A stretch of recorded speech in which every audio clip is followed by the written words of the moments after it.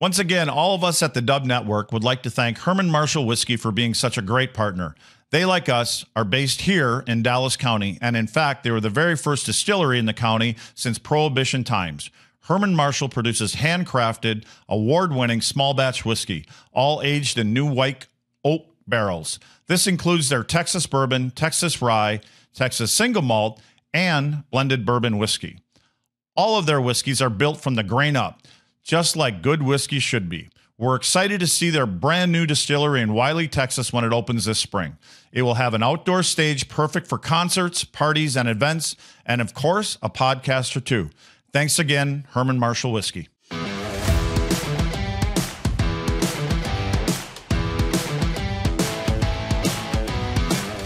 Welcome to another episode of Suds with Luds. Uh, today, we're getting younger. We, have had a lot of guys here from the past. I don't know and, uh, uh, we're going to get younger today. Today, uh, we welcome in Vern Fiddler, uh, Dallas Star, Preds, uh, who else? New Jersey a little bit. Half, Um, a, half a year in New Jersey and then two years in Phoenix. 800 and just shy of 900 games in your career. Um, anyway, welcome, Fizz. Thanks for being here. I got I got a whole shitload of things I'd love to talk to you about. Um, you know, I, I want to start with current events. So we were just talking um, just here a few days ago. The Dallas Stars had their first uh, couple inductees into the what they have as a the Hall of Fame now. Bob Gainey and Derian Hatcher obviously appropriate. Bob Gainey, who was the architect of at least the era that I played in, of putting that group together and, and winning the cup here in Dallas, and, and Hatch for being the captain, the first one that, first American that was able to lift the Stanley Cup, and just a, a monster as far as I was concerned when he played. And I know you played against Hatch. You never got a chance to play with him, and you probably didn't play much against him. A couple. Do you remember anything about him playing against him? Uh, well, yeah, a little bit. Like I, I, I'm growing up in Edmonton. Your guys' massive rivalry with, um, Yeah. you know, with the Oilers, and you know, just I remember him being just such a massive presence on the on the blue line, and you know, he just was one of those really calm, collected guys that when the game, when the game got hairy, he, he wasn't backing down. He was dragging his team into the fight, and uh, I always had a lot of respect for him. So, uh, you know, just from the from the uh, you know watching the Oilers in the playoffs and you know your guys' big rival that you had a few years there, um, you know, and then got getting a chance to play against him. Uh, I, I just remember looking at him and being like, man, I, I knew he was big, but I didn't realize it, he was that big. Yeah. Um, but you know what a what a great guy. I've got to know him over the last couple of years, uh, just with the alumni events, and just such a humble guy, quiet, and you know when Quiet. he when he talks, you know he you know when he talks, you you know everyone really listens, and you know just the speeches the other night there at Gilley's is, and the the Hall of Fame uh, the uh, banquet there it it just showed uh, what what respect he had from his teammates, and um, it's not hard to tell when a guy has, has respect from his teammates when you know he gets a, a great showing there at the Hall of Fame dinner, and uh, it was a, it was a fun fun night to be a part of. Was there anybody in your career that played similar to Hatch that when you played again? I mean, you played almost 900 games, and was there anybody that came along like like Hatch? I mean, it was because you were you were in that era where we're starting to transition, right? It's not what it was today, but it was getting closer to more of that style of game. Would you say? Or- yeah, I, I, I mean, I played with a few guys. I mean, obviously, I think that that was a little bit of, a, of the transition where it started to become a little bit more, um, you know, of a you know a smaller smaller man's Yeah. game. Um, but you know, one guy that he really kind of reminds me, his personality reminds me a lot of is Kimmo Timonen. Um, and I know there's not a huge comparison as far as Right. playing, but as far as he, uh, leading, Kimmo Timonen didn't always say a whole bunch. He just led on the ice, and when he did, when he did talk, there was there was a lot of ears listening, and uh, just commanded respect just just on his personality and the way he played the game right, and you know always showed up for his teammates and just a solid teammate. So. Uh, personality-wise, I would probably say Kimmo Timonen. I was going to save this for a little bit later, but since we're on the captains and leaders, and you talk about being a quiet leader, they they, they led the way that they played. Is the way I looked at Hatch. I, I looked at Hatch that he had this ability to to sense the tone of the game, and when it, something needs to be changed, he didn't. As a matter of fact, he didn't even want him saying anything because he was like a caveman at times, you know. Um, but it, it was it was impactful when he flipped the switch. And I think of a couple guys that you did play with in Brendan Morrow and Jamie Benn. And would you kind of put them in that quiet leadership kind of guys? And because I looked at Brendan, you know, I've always said that I thought Brendan cut his own career short by the way that he played. He didn't have the size of Derian, but he played the same way, and he didn't back down from anybody. Jamie, I don't know if Jamie gets enough credit for as tough as he actually is. But and you know, Jamie was there the other night at the the Hall of Fame thing and had a chance to talk to him a little bit. But where do you put those two as, as captains? And you you've played with some good captains in your career. I, I would put them up there. They're, you know, they're they're definitely comparable to. Um, you know, Brendan was another guy that I, you know, Western League guy. Um, you know, we have some some um, families that are. Um, you know, close uh, that we kind of knew each other, but we didn't know each other until I came here and, and signed with the Stars. But you know, Brendan was also one of those guys that you know he didn't ever say a whole bunch, but you know, he could barely tie his skates when I was playing with him here. Heat packs on his back. Never bitch and complain one day. You know, just get out there and then just play his ass off and, mm-hmm. and lead us. You know, like I talk about dragging guys into the fight and, you know, trying to rally the guys to get going hard, play hard. But he wouldn't do that vocally. He'd do that through his play. And, you know, it's, it's, it's, it's a, I don't think it's a coincidence that, you know, these guys – are all kind of like bred from this, you know, they, they've all been kind of, you know, p- passed the torch down and, what know, the organization kind of believes the captain yeah, should and, be. And then like with, with Hatch and then it goes to Morrow being the captain and then, you know, uh, Morrow had Jamie under his wing. Yeah. And, and, you know, really taught Jamie the ropes. Like I've been having dinners and, you know, having young Jamie around and, you know, just giggling and, you know, laughing. But when it came time to play game, like, you know, those guys were two guys that mm-hmm. if I was going to bat uh, for a championship or, you know, a big game, those are two guys that, that definitely be on my list, and including Hatch. Yeah. Uh, you'd probably be yeah. on that list oh, yeah. too. Those big shin pads, those will, they'll take away some shot lanes. But, you know, with Jamie, uh, I was there. I was, you know, one of the assistant captains with Jamie, and, you know, we always took care of the vocal stuff in the room and the rah rah bullshit. And, and Jamie would just make sure that we had that taken care of. He didn't want to deal with that. Mm-hmm. He wanted to go out. Mm-hmm. He could take the play to a different level on the ice that I couldn't do. But I could help out, you know, by playing the right way and, and getting the, the, the boys to, you know, get them rallied a little bit in the dressing room or if someone needed to be, you know, had had needed a talking to in the right. dressing room. That's something we did. Jamie didn't want to do that. He wanted to lead on the way, and I think that lot comes from Brendan. He was the same way. Brendan didn't want to you know, get in any confrontation with the guys. He just wanted to lead on the on the ice. And I remember even Stephane Robidas, he was one of the guys in the dressing room that would handle a lot of the off ice stuff if someone got in shit or, you mm-hmm. know, um, Roby would always have a, have a chat with those guys. And then Brendan would get us on the ice and drag us into the fight, which, you know, it's kind of fitting as, you know, you got these Hatchers and you got Morrow and then now you got Jamie Benn. Yeah. So, you know, it'll be interesting to see who they chat. They, they uh, who the next pa- one is. Pass the torch on to. Yeah, because that, those guys, I don't see too many of them coming along. Not just in this organization, but oh, it's just di- in general. It's right? a dying breed. I mean, yeah. you you look at these teams. Like we went up and lived in Canada for for two years um, in in Kelowna, and you look at the. And then you come back to the U.S. and I, like the, the, the amount of skill level that there is, nobody want who wants to block shots and yeah. who wants to go hammer a guy and fight. No one wants to do that. Everybody wants to be a goal scorer, and yeah. you know a lot of these kids figure out that the, probably the hardest position in hockey is to be a goal scorer.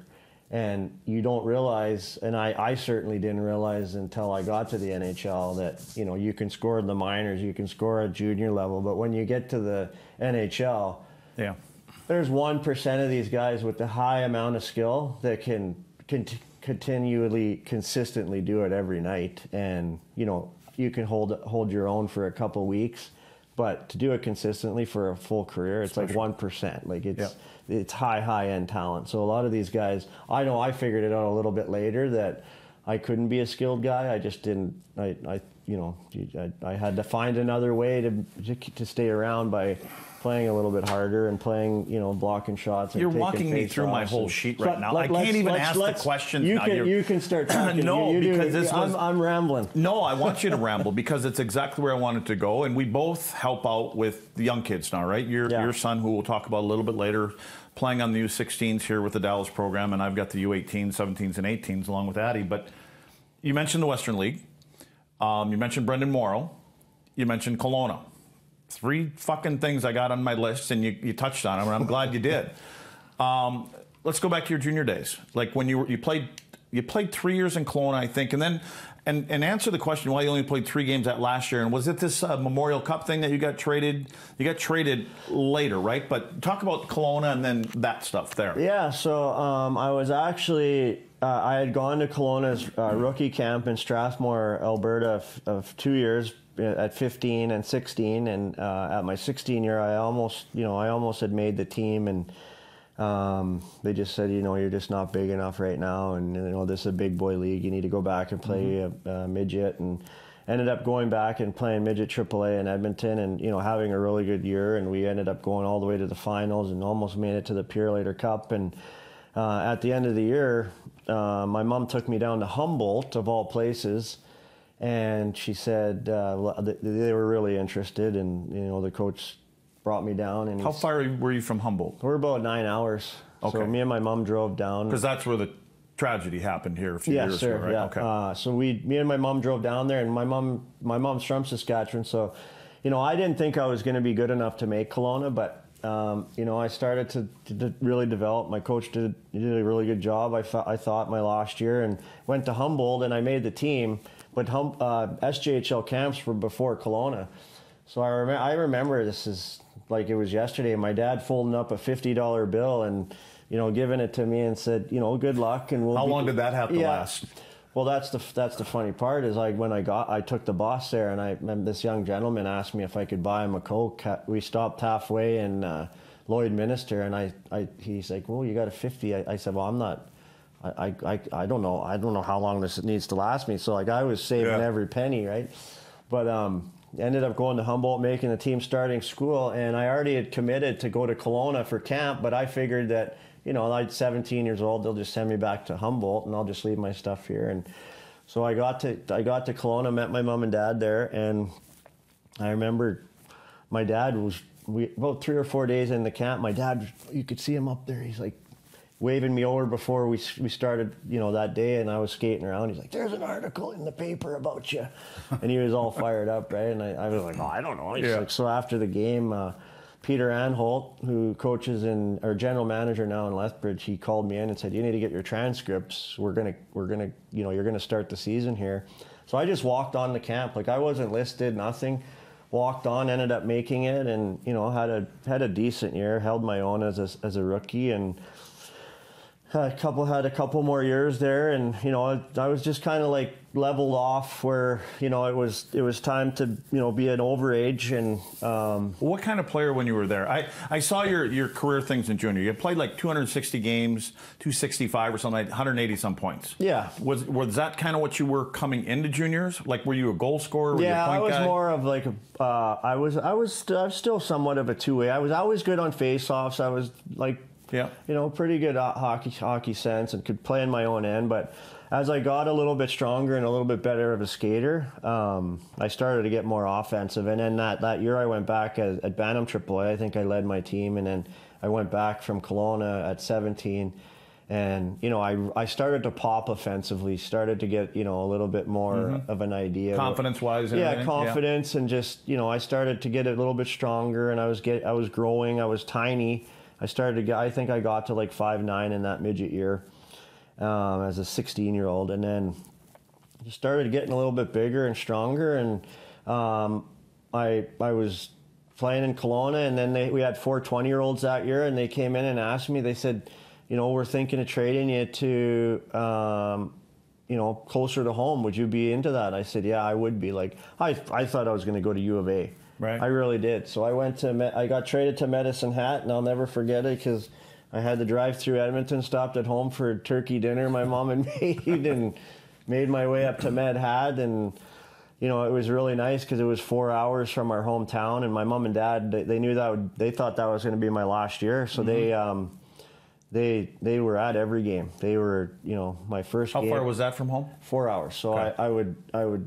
you know, my first game, I'll never forget it. I, I got my first shift, I scored, and I just knew it was a good feel. It was a good fit for me. The coach had tons of confidence. I loved the, you know, I loved being in Alberta, and ended up. I think I almost had 40 goals that year, and. and, uh, 33, I think. Yeah, it was. Yeah? It was a good year, and then I got, and then I got uh, called up to. Um, I got called up at the end of the year to Rivers, uh, the Arkansas River Blades. Yep. And um, that summer I was just training. It was early. Now, was that the East Coast or what? It was East Coast Okay. Hockey League. I, Yep. w- I was uh, I was just training back, and I went back to Kelowna after that year. Had a good year, and uh, I, I I got a call from Minnesota. Rich Sutter. He said, "I "We want you to come to camp." Mm-hmm. I said, "Perfect. I'll come to camp." And um, ended up they ended up you know I, I I actually ended up playing an exhibition game as a just a free agent. Yeah. And they really liked me, and you know I had a pretty good camp, and they wanted to send me to their East Coast team, but I already had my rights owned by this other team, and they had traded me to Roanoke. Yeah. So of all places, I get uh, I get sent down, uh, and I was going to go back to U of A after I got cut from Minnesota. I was going to go down, go back and go to U of A, and So you wanted to go to school. yeah, I wanted Yeah. to go to school. Yeah, And what, what did you want to do in school? Did you have any anything you were going for? I was just going to do like was it realty? No, I was going to that's do. what you're doing now, but Yeah, okay, I so was going to do business, like just Yeah. you know, and play for Rob Daum and and Okay. you know just kind of you know play a little bit more hockey and um, ended up my mom and dad talked me in. They said, you know, you should you should you you're start you're a little bit of a late bloomer. You know, my dad and you know your mom and dad believe in you more than anyone, right? And I said, well, I'll go down the Roanoke and I'll give it till Christmas. And um, I I remember I was walking in the mall at, in November. My mom and dad were down there visiting, and my uh, Chrissy, my wife, uh, she she was my girlfriend at the time. She was um, she was phoning the mall. We had went to the mall, and she was phoning the mall because we didn't have cell phones yet. And I, I my mom my mom said. Did I just hear your name getting paged through the intercom? I go, no. Again, Vernon Fiddler, if you're in this mall, come to the information center. It's my wife. She's like, you got to get home and pack. You just got called up to the American Hockey League. Oh wow. So, you know, that's where it started and all in, in all of this East Coast. So then uh, that gave me a little bit of more hope. And uh, my mom and dad were like, oh, you know, you, you're in the second best league now. You just got to keep grinding Yeah. and grinding. It ended up finishing out that year and and got a entry level with Nashville that summer. Yeah, you, you talk about grinding, and I and the word that I use, and I did this with Eddie. You, you weren't drafted, right? You're undrafted. So Eddie Belfour was undrafted. Now Eddie went on; he's a Hall of Famer and all this other stuff. He's got his own whiskey bourbon company after his career. Um, and he kind of started in the AJ, I think is where it was, and he kind of went from here to here to here. And then you spent what four, five, six years minor wise, or kind of back and forth. Would that be is that about right? Yeah, I think I had like my first year I was in the minors for between the East Coast and the AHL, Yeah. and then um, the second year, uh, which when I was under contract with Nashville, they I, I had gone I went up about I probably played 19 games that year, so I played 19. They wouldn't give me my 20 game bonus, so they Yeah. kept warming me Yeah, up, one of them me things. down. Yeah. And then the next year I played uh, 17 games, and then got But then sent- you got called up, right? I got sent back. Okay. And then oh, you're that- talking about in Nashville, Yeah, yeah. and then yeah, there yeah. was a lockout year. Yeah. The following year, the the we won the the Calder Cup that one year too. My first year pro, with well, well my second year pro with Milwaukee, um, and then that that second year with Nashville was a lockout, and then that ne- the following year I was up. I played like three games in the minors. Yeah. Um, uh, I got hurt in camp and went down for three games, and then I, I, See- I haven't looked back. That, that's that's my that's what I was thinking is like with Eddie I was going to say the, the word I used for Eddie was perseverance you know because of all the things that he had to go through. You obviously had to go through more than that. And I think that's more of the norm than it is for these guys that just shoot right straight and go from you know they're 17 years old and 19 years old and they're playing in the NHL but along the way when because you mentioned it earlier about who you were the player that you were the type of player that you were. So did you have to change your game as you moved along you think like from juniors and then when you got to pro? Because you to me when i i think of you as that guy that plays against top lines you mentioned faceoffs before i mean you're a career 52 53 in the faceoff circles you know and i don't know what what the highest is. I mean, I don't. Does anybody ever get to sixty? No, not not, in their anymore. career, right? so Did, is that something that you worked on? Because if I know you have, and I know you're a good centerman, because you need to come out with our U18 team and teach them how to take faceoffs. But but is that did you have to adapt your game? Like because you, you said earlier in your junior things you were starting to score goals, your confidence, stuff like that. But then you start to figure out what's going to keep you there, which is where we have the hardest time with some kids, getting them to try to understand this is who you, if you're going to go play in college, you're going to go to junior, whatever. This is how you're going to get you're going to get there. It's, like you said, one percent of the guys can score goals, and they all want to score goals. Yeah, yeah, no, for sure. And I, I think I think my my biggest wake up call was when you sign an NHL contract. It doesn't matter who you are as a young kid. You know, 20 years old. You're like, oh, I'm I'm I one made of the, it? I'm one of the I'm one of the best. Yeah. So that means I'm a goal scorer. Yeah. Right. Like it's just it's just automatic. Um, but I thought Ray Shero and David Poile and Barry Trotz, Brent Peterson, um, they did a really good job with me um, identifying what I needed to do to be a Nashville Predator. And I remember after my first year, uh, my first training camp, them, you know, having your exit meeting, and obviously I knew I was going down, and they even told me, they said, like, there's going to be guys getting called up and down. Don't don't worry about them. Like you're going down to develop. Like we think you could be our fourth line center for years, or even maybe our third line center. And they said, but these are the things you need to do. That you need to be a good face-off guy. You need to be a penalty killer. Like you got to be one of the top penalty killers in the league. Did it bother you to hear fourth line center? Did, I mean, you know, in your own mind, were you thinking I'm better than the fourth line center? No. Or did you just I'm buying in because I just want to play in that it, league? Yeah, it made me a believer because I knew, okay, well, if I can get to the fourth line, then I can, then I'll, then I'll go from there. Like my goal was always like, I know I'm going to be a young guy, you know. But they they laid it out. Like I remember even having my piece of paper going down to the, the minors in my little kit, and it, it said, you know, be a pest, be a penalty killer, be a reliable Did guy. they write you that? We call them calling cards for Yeah. play. Is that what they Yeah. did? They give that to you? Yeah, they Okay. uh, they they had it all written out, and and uh, Brent Peterson, who was you know like my my second father, he always was on my side, and he'd give me shit more than anybody in the whole on the whole team. But he even in, when I was in the minors and they'd come down and watch, you know, he would get on me. But he, I knew he did, I knew he was doing that because he cared so much. But um, you know, it was it, there was a couple wake up calls. Even I remember my even they told me don't you know this jersey. You're not going to wear this jersey this year. You're going to go down there. We want you to be a good solid guy.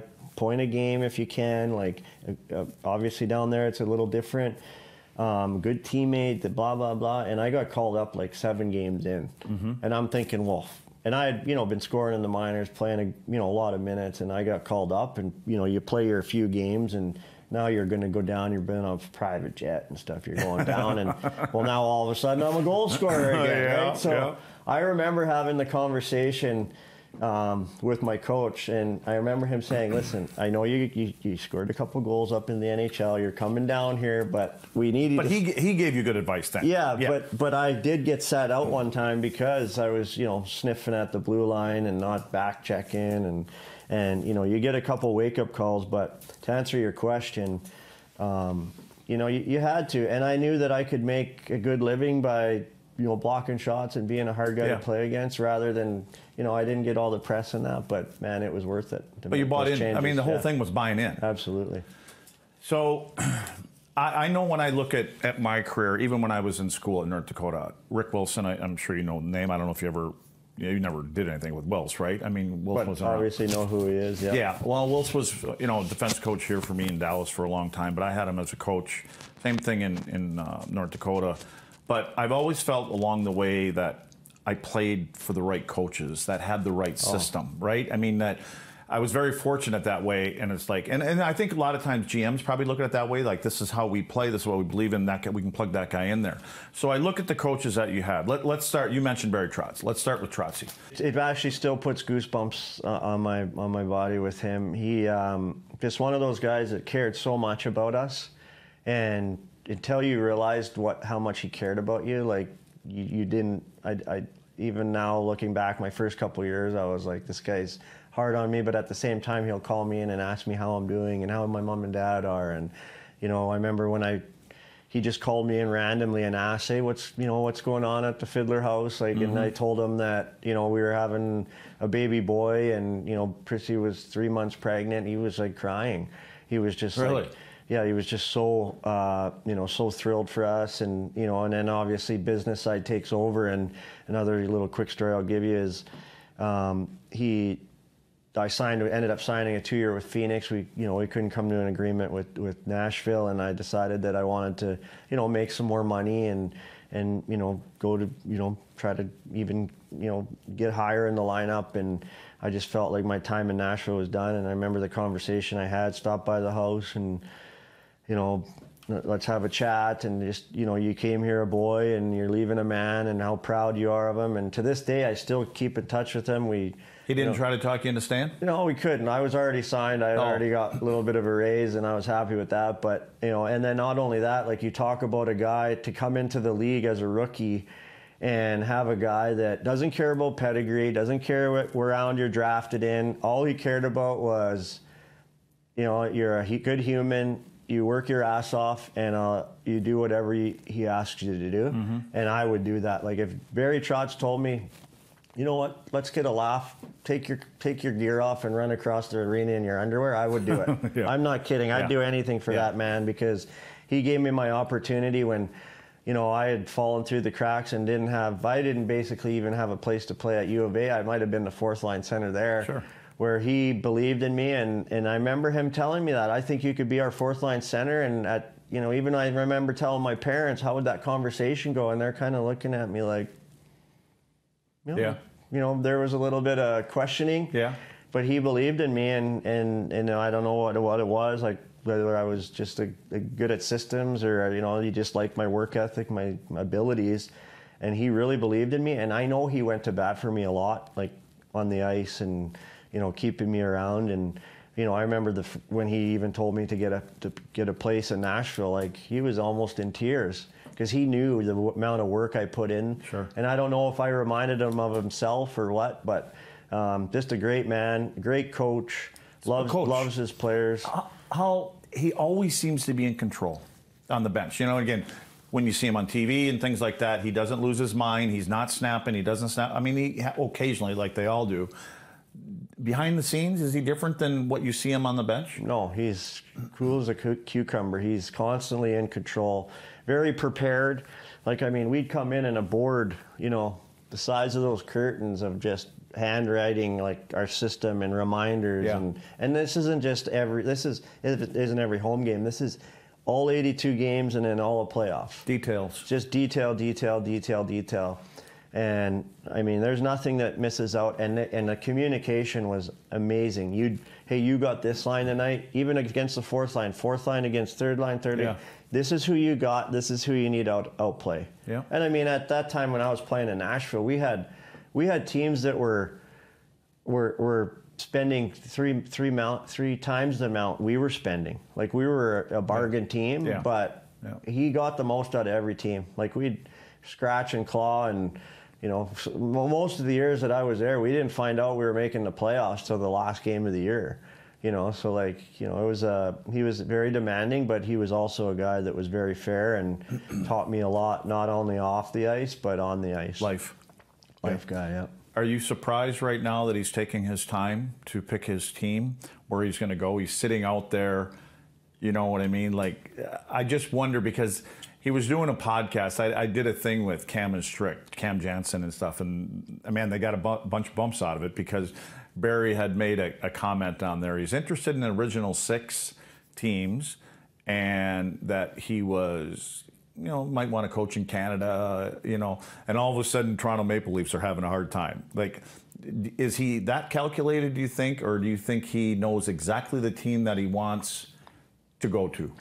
No, I think I think he's just I think uh, he, he's he's a real family first kind of guy, and I think that I think he wanted to take a year to spend some time with his family and figure a few things out there, and you know, Trot, Trotzy's a guy that, that that will think everything through. He's not going to just coach to coach. Yeah.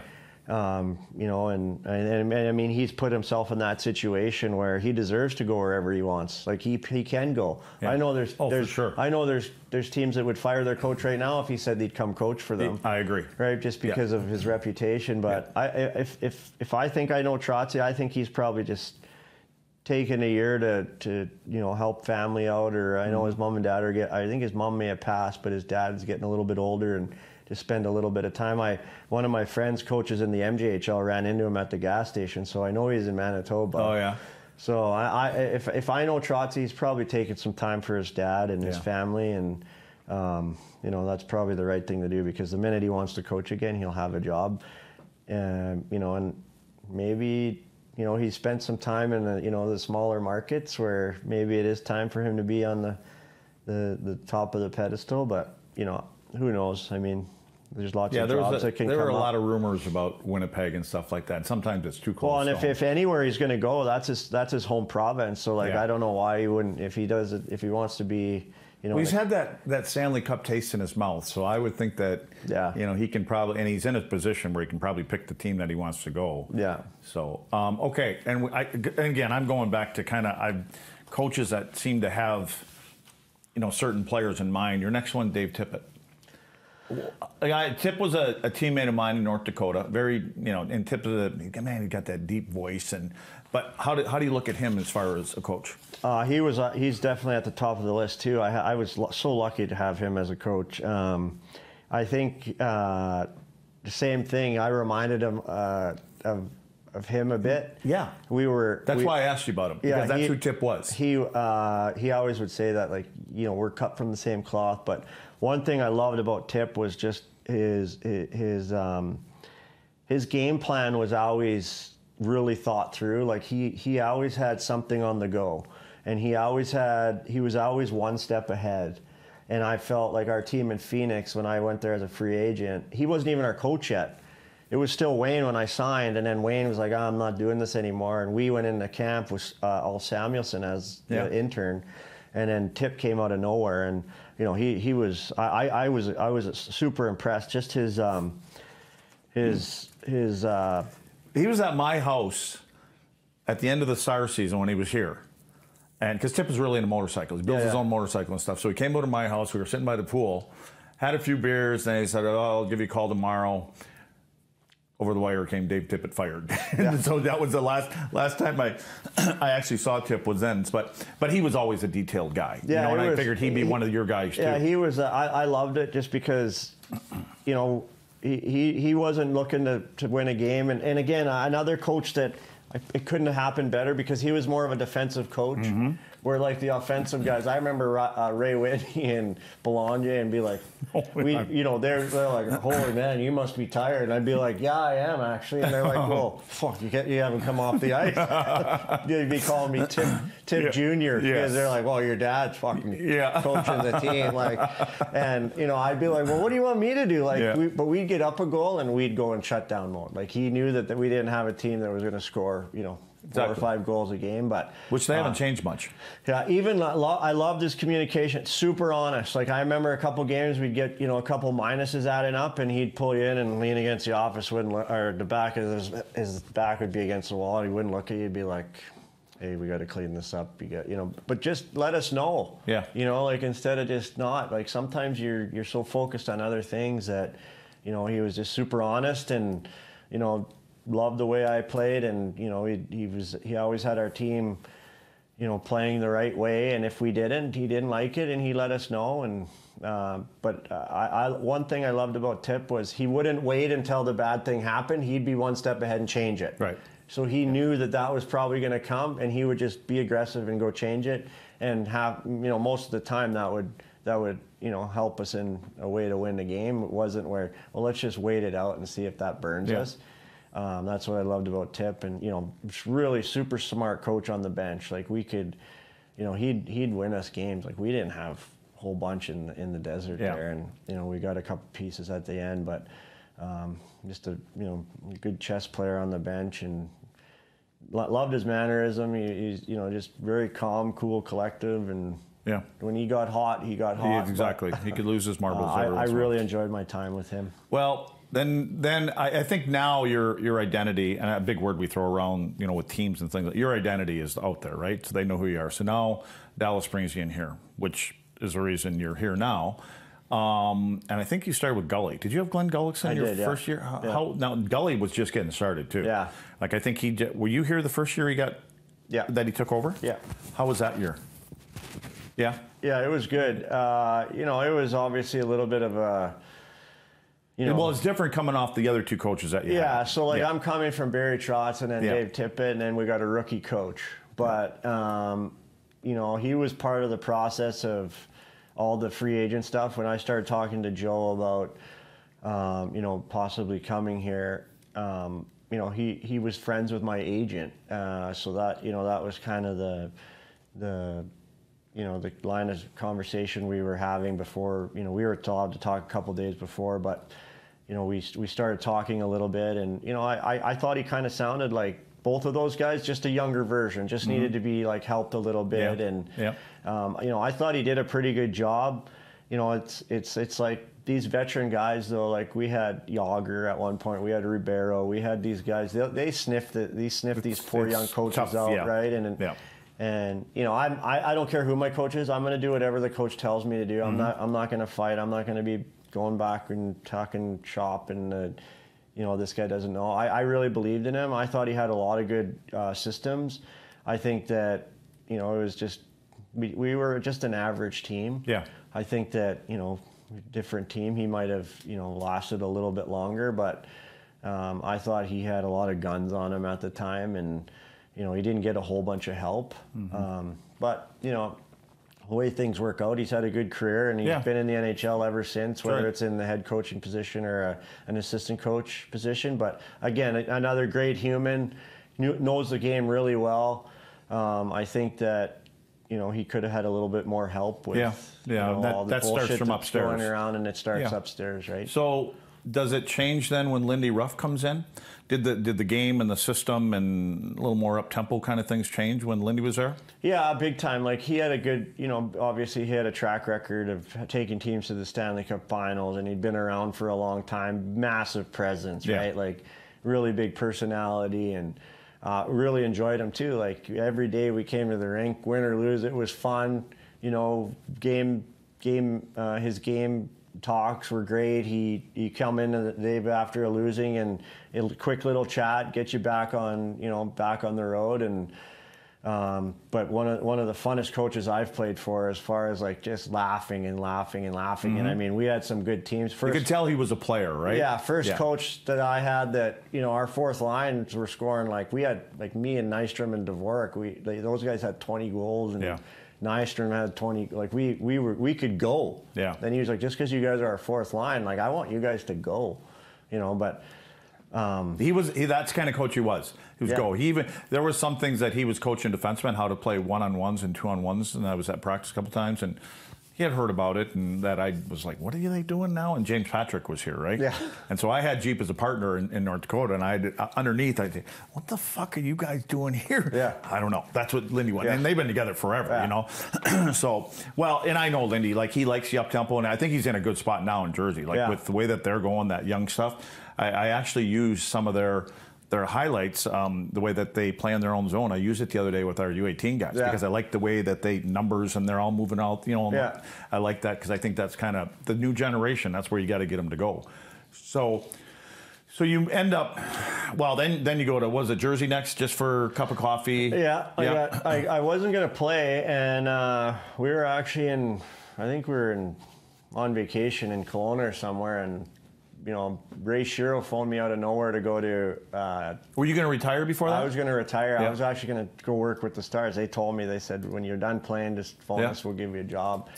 And I was just back home. I hadn't even started training yet. Nothing. And uh, Ray Shero phoned me. He's like, "What are you going to do next year?" I said, "Well, I'm not coming to New Jersey, so unless you're getting a new job." he said, "Well, no, let's just chat. Like, let's like chat closer to the you know free agencies. Like, I I talked to Jim Nill, and he said that you know you're potentially going to take a job and not Yeah. going to play next year, but he's like, I think you can still play." So I, you know, we get a couple days before free agency. Did you think you could still play? yeah, I, Yeah. I, I thought I, I could still Yeah. play. Like I had, you know, a good year the, the year before. We we went to the uh, playoffs, and uh, I knew I could play, but I just didn't. I didn't want to like leave my family here, right? Right. And I knew that they were getting roots, and I didn't want to pick them up. And I'm like, you know, New Jersey. And the biggest thing with Ray was he's like, you know, if if we're not a playoff team, which I don't think we will be. He goes, I'll move you Okay. and I'll give you an opportunity. And he said, uh, so I don't know if you want to bring your family or not. He's like, but if you if you don't, I'll fly you home on every off day. So I wouldn't. I wasn't basically even practicing. I was just there to Really? like help out and Yeah. you know I was in uh, I was I was in the dressing room and stuff. And off days, if we had three days, I was back in Dallas. No kidding. Yeah, so it, it was actually a pretty good setup. And then around like right after Christmas, I hurt my knee. I was out for like six weeks. And he called me about fifth fifth week. I was back here. He's like, "Hey, I got a couple of teams calling for you. You think you can play?" I'm like, "Well, I'm gonna, I'm starting to skate." So Lucas Reed Yeah. was skating me here at Valley Yeah. Ranch. Started getting the wheels going and training again and rehabbing.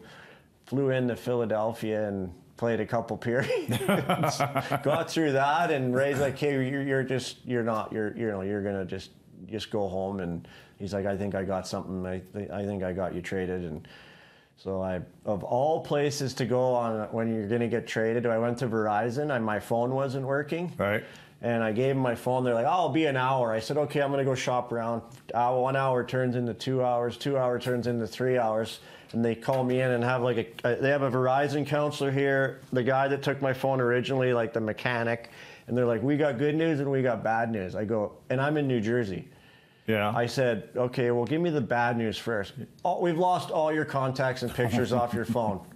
I'm like, okay, give me the good news. We're going to give you three months free on, on Verizon. I go, I don't give a fuck. I go, how do I get my phone numbers back? Yeah. Oh, eh, you got to go back and wherever your big computer is, like your iCloud, you got to. Yeah, you're it supposed in. to back If it in- That's in back it up Dallas. with- yeah. So I get my phone back, and I'll- and I mean, Luddy, it was like ding ding ding. As soon as they turn it on and get me a new phone, they're like ding ding ding ding ding. And there's one number, like it's like, where the hell are you? Call me ASAP. Call me. Call me. Where are you? Missed call. So finally, I.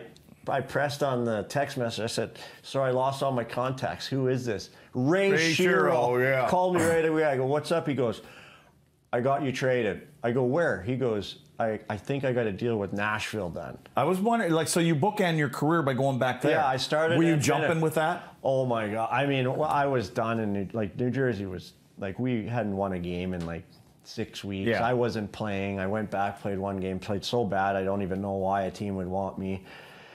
And uh, yeah, David Poile phoned me. He goes, "Hey, this isn't out yet, but he goes, I know you're hurt. I know you've been out. He goes, we'll get you back into shape. We need a good dressing room guy. You're not going to probably play every game.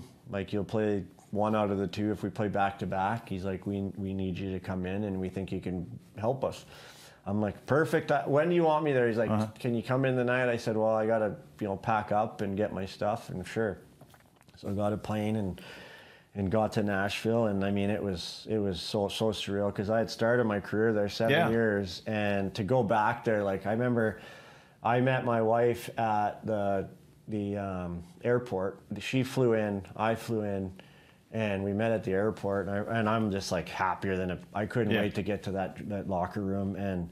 You know, we're driving in. We're like, "Oh my God!" Like that building wasn't there, and that building Mm-hmm. wasn't there, and you know that building wasn't there, and it was just surreal. To, and then, you know, the finish we had, we went all the way to the Cup final, and we were so close that, you know, it still makes me sick. But Yeah. you know, to see that city rally around that team with, we had three hundred thousand people outside the rink. Is that when that environment changed that? I mean, or was it leading up to that? I know they you were weren't there. they were they were leading up like they had But done now it's like the place to go. Oh man, it, and and then and that and we couldn't even go out and eat. We couldn't walk around town. We Yeah. couldn't like you go for dinner with your mom and dad before a game, and it was like, you know, you needed Secret Service. Like we were like God there, right? And uh, to and see, you're a country guy, aren't you? oh, I love country. I was going to say so- this is right in your wheelhouse. Yeah, Was so- it like that when you were first there, though? I mean, I know it was, but Yeah, it was Not it- as much? It was like they they always did a really good job connecting the musicians with the players. Yeah. and like we always had like Brooks and Dunn around, Vince Gill, like Dierks Bentley, you know, all these like like you know some Hall of Famers, but then some up and comers too. Yeah. Like with Dierks Bentley, like he was like we were playing men's hockey in the summer. I did a with him. Harley ride with him here. Yeah, he's just a great guy, right? So, um, you know, and then to, to see that leave on, you know, the teams going in a good direction and then coming back to that, like it was incredible. Yeah. Like they Yeah. they've done such a great job there, and the the the culture with you know one GM, like you know three coaches Yeah. or four coaches, whatever they're at, same staff, like Mm-hmm. people in the office are still all the same, like. Do you believe change is good? Do you think? I mean, because they're. I mean, they didn't get off to a great start this year. So, but do you think they? Do you think it needs to be changed? Do you think there need to be some, a new voice? I think Poile's going to step down before he leaves. I mean, I don't think they're going to. Yeah, they would never. I mean, he'd him. probably step sideways or something like yeah, that. of course, change is good. I mean, you, you know, the, it's like the old old saying, like it's the, the, the your message goes away. You know, Yeah. so. I mean, I think that's how the new NHL is now. I think it's like a three to four year span for these coaches to get Yeah. fired. Like, and maybe not even that long. Yeah. So, it's just one of those things where these poor coaches, like, you move your family here, they move, you know, Mm-hmm. they set up roots here, and they're, it's just they're they're not going to last long. It's almost like four the years. curse is when you buy a house. Yeah. You know you're getting traded. Yeah. Like within a year or two. Yeah. Um, so you, you mentioned coaching a couple times. I know you went back to was it Kelowna? Yeah. What you What did you think about coaching? Do you want to get? Did Would you ever want to get into it? Was it you got your taste at that? I was I was level? doing player development and organization coach with the Stars here, and I got the opportunity uh, to go back to Kelowna and and be on the bench, and um, I really wanted to try it and see because I, I loved what I was doing in, in with the Stars and. I was on the ice every day with the team, and then when they would go on the road, I'd go down to the minors and work with the young kids. I hated being in the press box. Yeah. So uh, my my owner, the owner from Kelowna, phoned me in the summer and said, "Hey, I know you're doing this coaching thing. Would you be interested in coming? You know, helping us out? We have Memorial Cup." And I said, "Well, yeah, I'll, you know, let me talk to my wife. We've been talking about moving back to Canada and just to be closer to family for a couple years, and ended up going back. And I lo- I liked it. I didn't love it. Um, I, I I I was missing hockey tournaments and." Um, you know, I was missing time where on a Sunday you're traveling to Moose Jaw or you know Prince George, where you're like, oh, I want to be on my couch and I, you know, I I want to have a career, but I, I I don't know if this is it. So I, I kept going. I thought I'll try it out for the year. Well, COVID hit, and we, our season got canceled. We didn't even host the Memorial Cup. So then we were stuck in Canada. So I coached another 14 games. And I told the owner before the season started, I said, this will be my last. Yeah. Like, I'm going to go back to Dallas after this year. So, you know, this is my coaching career is going to be, you know, shortened. Uh, but, you know, I, I was. I was on the fence. I, I liked it. I didn't love it. I, I don't want to miss my kids' events, and I, I don't want to Yeah. be a dad that's. I've already missed enough with, with Yeah. you know playing for as long as I did, and you know it, it might be a different story if I didn't have kids, but I want to be a part of their their activities and help them develop and grow as as uh, people and and you know athletes. So I thought that you know we just come back here and I'd figure something else out and And you are. Well, you have. You've done both of those. So, Yeah. which leads us. Let, let's talk about not your your career now. Let's talk about your son Blake. Yeah. You're you're traveling when you can with with the U16 team. Is it difficult for you to be on the bench and and your your son's a defenseman, good size. What six two, six three? yeah six almost six. He's a big kid, Uh, and he should he could be the U15 yet, right? So is Yeah. he playing up? Yeah, he's Yeah. playing up a year. Describe your son. Uh, well, Blake's a good kid. He uh, he's got he, you know he's he's kind of the opposite of me. He's very laid back. He's uh, you know You can be out there. pre- yeah You can be a social butterfly. pretty quiet, uh, pretty quiet kid. But as far as uh, as hockey, he he's his passion for the game is is incredible. It's just like you know, there's times in the car on the way home from games and stuff that you're just like, man, just give me like five minutes to just like you know, not talk about hockey. He just constantly loves the game. He's constantly shooting pucks. He's constantly working at, you know, something with his game. Um, you know, we were, he was lucky enough to get drafted by the Edmonton Oil Kings and, uh, you know, start his path, which I, I, I'm, I'm thrilled to be a part of. Um, as, as far as hockey, I try to stay on this side of the bench and let him kind of do his thing. I if noticed you down by the defenseman. or he, I I mean- well, he's D. I'm, I'm on the forward. Yeah. I try to like. I want to be his buddy. I want to be his Do you friend. do you kind of if he comes off with a shift and you're something you would like to talk to him, do you wait or do you walk around and whisper in his ear? no, I, I'll, I always wait and let him digest it, and then I'll, you know, he knows my looks too. Yeah, Like there's okay. a couple looks like, or like I'll whistle, and he, He knows he fucked something up. he knows like to get going. Okay. You know, Yeah.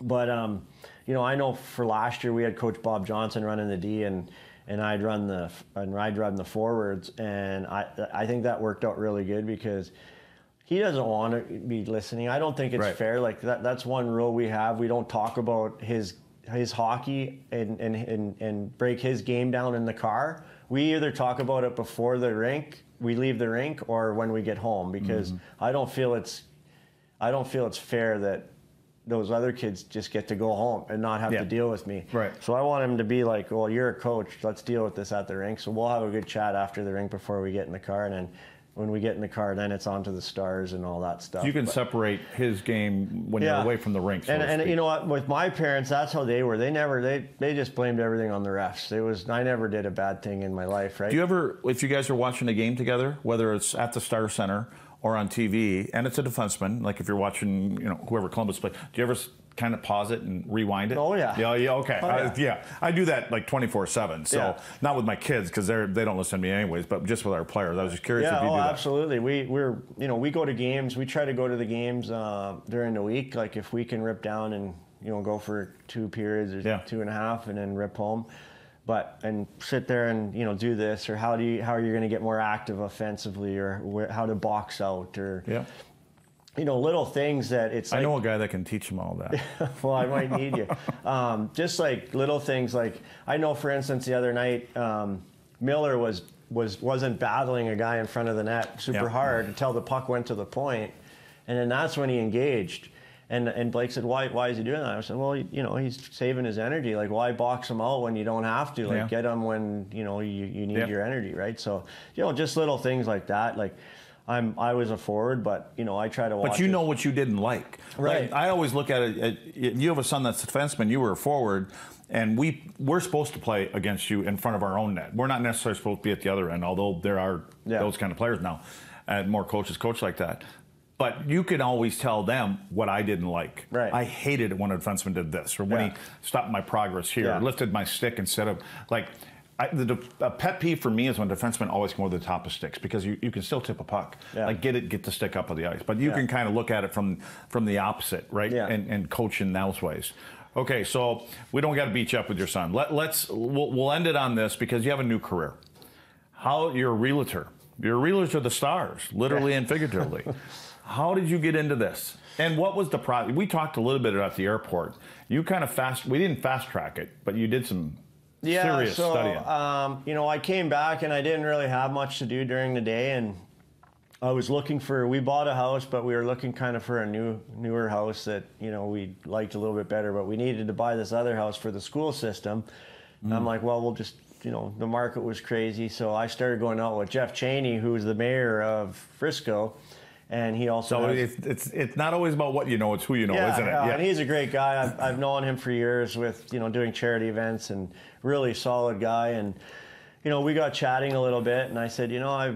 I, I, I'd send him houses, and he'd but man, you gotta, you, you know, you might, you might have a career in real estate. And I, I, I was just kind of joking around, you know. I said I thought about that, and he said to me, he said, you know, I, if, if you're serious about that, When did you? When you said you thought about it, how long ago did you think about it? well, I, was it- this was like, this was December. We had went home for Okay. Christmas, and he phoned. It's not something ten years ago you wanted to be a realtor. No, my, Okay. my mom and my grandma were realtors, but um, I was I was with Jeff, and he said, "Well, you know, if you're serious about that, like, you know, we'll What's the name of the company you're with, by the way? Cheney Group Realty. It's Okay. it's part of Monument, but we have our own team. It's called the Cheney Group. Okay. Uh, so he, you know, we were on the phone, and he just said, you know, if you're serious about that, I'll hire you, but you got to, you know, you got to go get the, the, you know, the test, and you got to do the school. And that was the biggest thing. I remember going home for Christmas, and I'm, you know, kind of chatting with my brother and my mom and my wife about it, and I said, you know, that I might do it, and you know, I, I wasn't really convinced I was going to do it because I hadn't taken a test since I was 18 years old. Right. I went and played pro at 20, and you start making a career out of that. Like, Yeah. we we had Stretch telling us where to be, what to eat, when you to ever go read to a book? Hey, Did you ever read a book? not like I've read a book, but not like you know, not not for just for fun. Like Yeah. I mean, not not like that I had to. Like even in junior, you know how it is. Like we oh, we, fuck. we get by, by by the skin of our teeth. Yeah. Right? So I, I I came back. And I had nothing going on, and I needed a challenge, and I just I went online and I signed up for the school, and I, I was like, twelve hundred bucks or thirteen hundred bucks, and I knew I'm, I'm cheap, so I knew the minute I pressed pay, You I'm were- like, you were doing committed? it. Yeah, Yeah. I'm doing it. Yeah. and I just started. I started, you know, grinding away at it, and uh, I found that going to the classroom really helped me. Like I and I enjoyed it. Like I couldn't. I couldn't wait to get back there and go to school. And uh, and I mean, some like most of the people don't even talk. But I was like there. I had notes. I had like you know my note. I was all organized. Had highlighters. The whole. work. Yeah. And I don't know what it was, and I, I think it was probably because we didn't spend a whole bunch of time at, at school when we were younger. But I just I could like when the class was over, I was like, oh, you know. So I and I some days I'd do two a days. Like I'd go and do one course in the morning, one course at night, and I just grinded through it. And I, I think I wrote my test on Easter weekend. So what was that? April. Yeah. So started in January, and I just I just grinded and grinded, and um, I I read and ri- you're not supposed to write the national and state at the same time. I read it, I wrote it, and passed them both, and I couldn't believe it. The guy said, "Congratulations, you passed," and I said, "Both?" yeah, and I said, "You got to be kidding me," because I thought I failed the the national for sure. And you know, it's just been guns ablaze, and me and uh, you know Jeff uh, added me to his team. We got a great, you know, a great uh, mix of, of young and old and veteran guys, and there's there's three three of us males and the rest females, and you know they everyone kind of helps each other out. So it's a lot like being in a dressing room. I'll walk in and they'll chirp me about my outfits and Yeah. um, you know stuff I do with contracts or whatever. But um, we we sold all that PGA development out there at the fields. Um, So is when you when you when you get your first deal, is it kind of like your first goal? Oh man, it's like there's no like it's a massive rush, but a lot of it's like i i like you you gotta kind of expect the unexpected because like you'll have a deal done and then someone will back out of it and then something better will come. So there's highs and lows, just like Oh from man, shift to shift. and and and you know, I I give these people a lot of credit. I mean, I have a nice nest egg where I'm not. There's not much pressure for me. Where Mm-hmm. some of these people, like if you don't sell something that month, you know, or Yeah. you know, in three months, like the pressure's on. So like you get a real good high and there's a big deal and then it falls apart. Yeah. Like I imagine like it's a massive crash, but yeah, like to be to be honest, when I got my first deal, like it's a massive rush. Like Yeah. I remember getting in my truck and like it's once it's sealed. Especially when you get that You're- paycheck. you're- Yeah. yeah, you're Yeah. you're fist pumping. Yeah. So, you know, I kind I, I'm very lucky to be a part of the Cheney Group because they don't hire, uh, they they haven't they don't hire new people, and uh, to be in, the, in that mix with that caliber of, of uh, real estate agents, I'm very lucky. Yeah. And you know, we've we've just just from word of mouth and friends and family, like we. we It, well, it definitely helps, you know, coming having a career like you did, and Yeah. everybody knows a name. Yeah, You so know, I mean, been yeah, and it's funny. Like I'll That's phone- gotta open up I'll- doors. I'll phone some realtors and you know they show their places or whatever, and Yeah. they'll be like, "Have have we have we done a deal together Uh-huh. before?" And I say, "No, I don't. You know, I'm I'm just new to real. I, man, I, I've heard I've seen that name somewhere, and I'm like." Well, I used to play for. I knew it. You know, Yeah. I played for the Stars, And that helps, years. right? It- yeah, it- yeah. Well, it builds a, con- a little Sure. bit of a connection and a relationship, icebreaker and and- people are, Yeah. you know, they're like they're more interested in the hockey than actually getting the deal. Well, do you have to do you have to do a lot of schmoozing parties or any of those? Yeah, kind of, yeah. I do like we do a lot of golfing, and you know you got. oh yeah, tough job. Yeah, you got to show up. You and We- Turco are the same. Yeah, we got we had a golf tournament yesterday at Stonebriar. That was fun, but yeah, just being in the community and um, you know during the week it gives me like a purpose, and we have a meeting every Tuesday to go over all of our new listings and what we've sold, and it's it gives me a lot of flexibility to to leave with my Mm-hmm. son, and it's going to give me a lot of flexibility when he leaves home next year to in Edmonton. I'll be able to I can work from my computer. Yeah. So um, you know I'll have to show my face a little bit, obviously, but it's not going to take 14 hour days out of my out of my days with like Is there- coaching and that. But Is there a uh, Fiddler Realty on the horizon? oh, I don't know soon? if I'm going to get to that level. I like just having someone else as my boss and Yeah. being able to leave whenever I want. And um, you know, at, and at the same time, make a little bit of money and, Mm-hmm. and also build a lot of relationships uh, socially and, and business wise. And um, you know, I've always had uh, interest in investment properties and stuff like that done in the past, and um, just look forward to c- continue to, to learn and educate myself. And Yeah, Brenden Morrow's selling land for golf courses and stuff like that, right? Isn't he? Yeah. Is he living in Nashville? No, where's No, he's in he's in uh, Austin. Oh, that's right. living in Austin, Yep. doing it the same thing. And it's just it's all about being able to deal with people, and Yeah.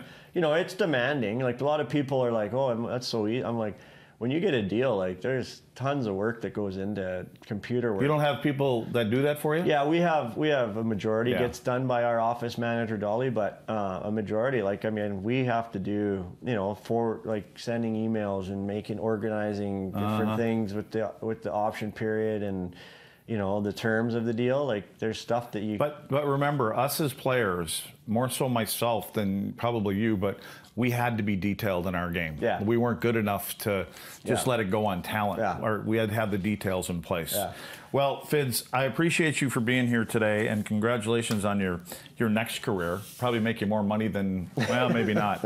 But I, I appreciate you being here and I, I just think that when I when I watched you play, you were that effective, efficient player that just had a role, knew what your role was, bought into it, and you'd come out of every game just to have done your job. And the kind of guy that you want to put a team together, you know, you're you're that guy. So I appreciate you taking the time today. I know I, you probably got a big, couple big deals on your phone right now that you got to follow up on. So again, Vern Fiddler, former Dallas Star, now the big time realtor here in Dallas Fort Worth. Um, thanks again for being here. thanks for having me. All right.